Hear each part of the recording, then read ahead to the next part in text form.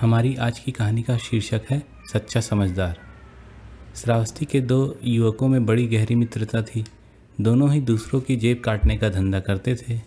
एक दिन एक स्थान पर भगवान बुद्ध का प्रवचन चल रहा था। अच्छा अवसर जानकर दोनों मित्र वहीं पहुँचे। उनमें से एक को भगवान बुद्ध का प्रवचन बहुत अच्छा लगा और वह ध्यान अवस्थित होकर सुनने लगा। दूसरे ने इसी बीच कई लोगों की जेब काट ली। शाम को दोनों घर लौटे।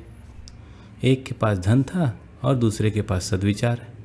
जेब काटने वाले दोस्त ने दूसरे दोस्त पर व्यंग कसते हुए कहा, तू बड़ा मूर्ख है रे, जो दूसरों की बातों से प्रभावित हो गया।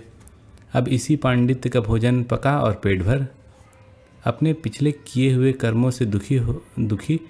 दूसरा जेब कतरा, भगवान बुद्ध के पास लौट गया और उसने सब हाल कहा। बुद्ध ने समझाया, वत्स जो अपनी बुराइयों को पहचान कर उन्हें निकालने का प्रयत्न करता है, वही सच्चा समझदार है। पर जो बुराई करता हुआ भी पंडित बनता है, वह महामूर्ख ही। है आपको आज की कहानी कैसी लगी, ये हमें ज़रूर बताएँ और इस पर अपने विचार देने के लिए नीचे कमेंट बॉक्स पे अपने विचार लिखिए। और अगर आपको ये चैनल पसंद आया पसंद आया तो कृपया इसे लाइक करें और शेयर और सब्सक्राइब करें। धन्यवाद।